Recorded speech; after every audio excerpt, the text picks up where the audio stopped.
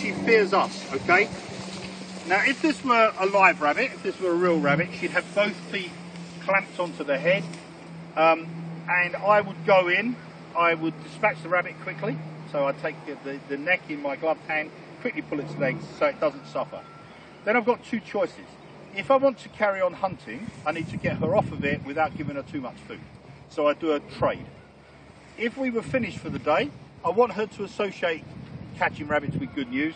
I would open up, while she's on the head, I'd open up the stomach wall, pull it up, put my hand in, all the guts and everything go away, leaving the liver, the kidneys and the heart, and then I'd sit and help her eat it, maybe for 20 minutes until she's really full up of lovely, fresh, warm rabbit, uh, and then I'll trade her off it, okay?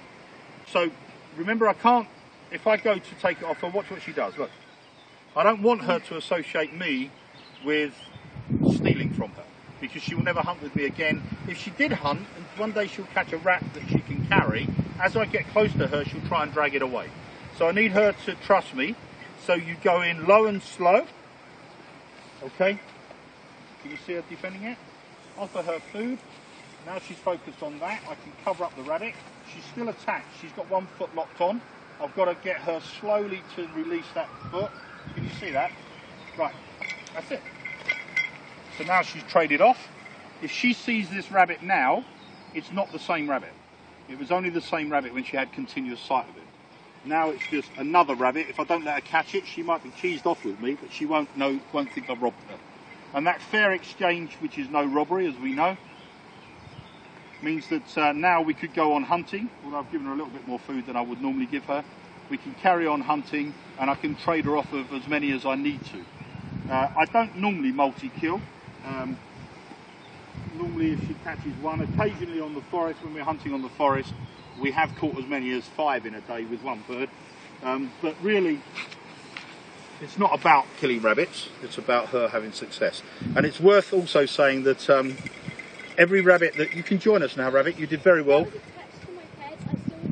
No, you wouldn't. You're absolutely right. No, it would have been more entertaining for us though, and the whinging would have, the whining would have stopped a lot quicker as well. I think.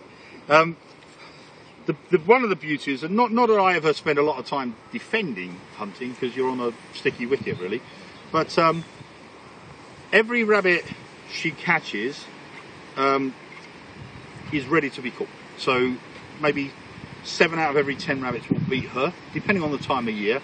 Um, a good rabbit that knows its territory will always do your bird if it's fit, as it should do, because it's a fair, fair test, if you like. So the rabbits that she's catching are the rabbits that natural selection has decided it's their time. But also, if she doesn't catch a rabbit, I still have to feed her one. You know, nothing, you know, she has to eat meat. So something has to die every day for her to survive. Same as that buzzard that we saw come over. The, the sheer fact it's there meant something died today. Mm. It's a fact of life. And I'd rather it was, um, I didn't abdicate responsibility for where the meat that she caught came from. I'd rather it was um, meat that I know is free range and organic and has every opportunity to, to get away. Um, the other thing is, uh, it is a true natural test between the two that has been going on for millennia. Uh, we don't help them in any way, shape, or form. Um, in fact, I'd go as far as to say that we are more of a hindrance in terms of their hunting ability. Yeah, noisy footsteps. Yeah, noisy footsteps, wrong place at the wrong time. Um, getting her, you know, if she's hunting off the fist a, a warren, you can bet your life you're standing in the wrong place. You know, the rabbit knows where you are. It'll come out the wrong hole. It'll come out when you're looking in the other direction. So it's very difficult actually to catch quarry.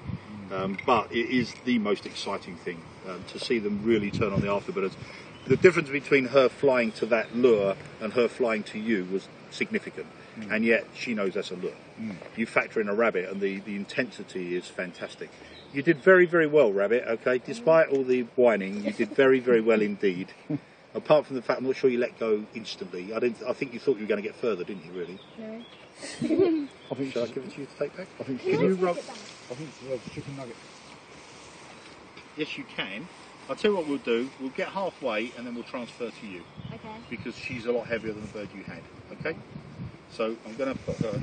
The reason I've got you to roll your sleeve down is, you know, I said they never bite you. She does. she's, she's got the lot. She is just horrible. Look at her. See her lunging?